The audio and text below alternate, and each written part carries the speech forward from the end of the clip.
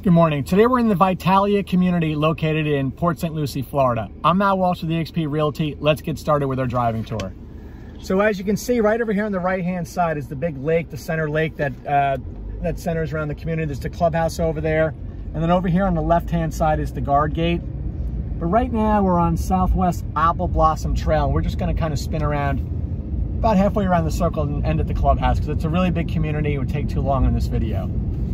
But to give you an idea, uh, Vitalia is a 55 and older gated community and it's within the larger master plan Tradition community.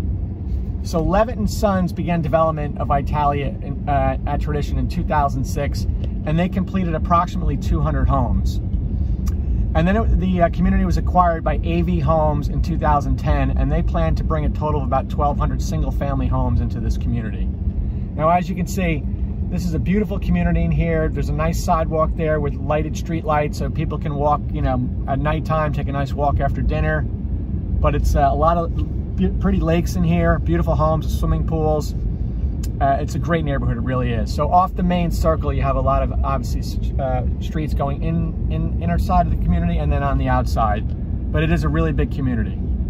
So, and again, most homes have beautiful lake views.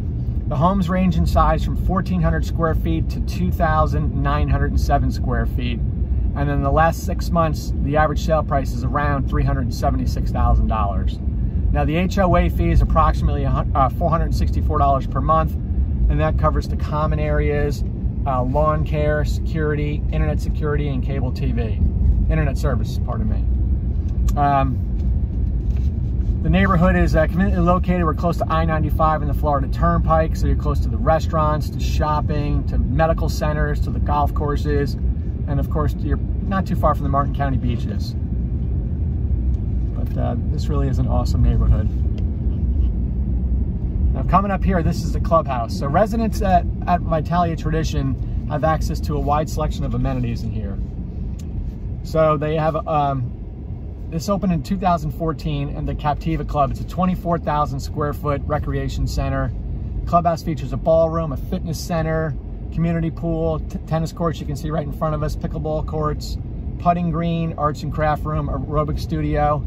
They have a ton of activities. They have an activities director in here uh, where they actually schedule pool parties and then day trips as well as bringing live entertainment to the clubhouse and ballroom. So you can see this is a, it's a beautiful uh, clubhouse right here.